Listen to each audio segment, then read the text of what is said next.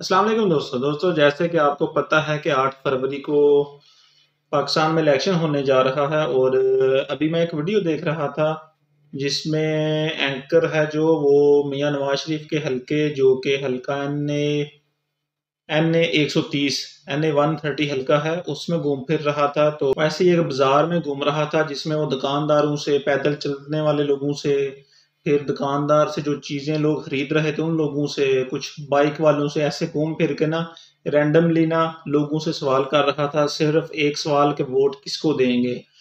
तो वो रैंडमली जितने लोगों के पास गया, उन सब के जवाब क्या थे, वो मैं आपके साथ शेयर करता हूँ कि ये इलेक्शन बहुत मुश्किल होने वाला है, क्योंकि उस बंदे ने, मैंने टोटल काउंट किया है नाइन्टी टू बंदे, यानी कि बानवे बंदों के पास गया है और एक ही सवाल किया है कि वोट किसको देंगे? ठीक है, और इस बानवे बंदूक ने क्या जवाब दिया वो मैं आपको दिखाता हूँ। 92 में से 38 बंदे ऐसे थे जिन्होंने बोला है, जी, वोट देंगे मियाँ नवाज़ शरीफ को। ठीक है 38 बंदे ऐसे थे जिन्होंने वोट दिया है नून लीग को, और 38 ही बंदे ऐसे थे जिन्होंने वोट दिया है पीटीआई को। ठीक है, यानी कि ये बिल्कुल एक टक्कर का मुकाबला है, बिल्कुल लेवल का। जो भी यहाँ से जीतेगा, मियाँ नवाज़ शरीफ जीते या डॉक्टर यासमिन राशिद जीते बहुत ही तगड़ा मुकाबला होने वाला है।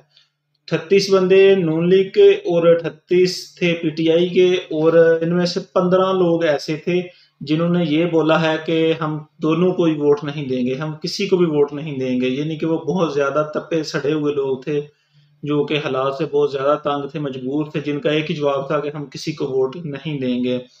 पीछे सिर्फ़ एक बंदा ऐसा था जिसने बोला था, बंदा नहीं आई थिंक बंदी थी वो भी उसने पता नहीं कैसे बोला, ऐसे हंस के बोल दिया। उसने उसने बोला कि वोट बिलावल को देंगे। यानी कि पीपल्स पार्टी का यहाँ पे कोई स्कोप नहीं है। मुकाबला है मियाँ नवाज़ शरीफ और इमरान खान की पीटीआई में, ठीक है? तो ये बहुत टफ इलेक्शन होगा। जो भी इस हल्के से जीतेगा, ज़ाहिर है वो फिफ्टी फिफ्टी इलेक्शन होगा। बहुत मुश्किल से ही जीतेगा वो। बाकी देखते हैं जब ये इलेक्शन होगा तो इसके क्या रिज़ल्ट आते हैं, ये तो फिर ही पता चलेगा। वैसे बाई द वे आप किसको वोट दे रहे हैं? कमेंट सेक्शन में ज़रूर इजहार कीजिए। ओके जी।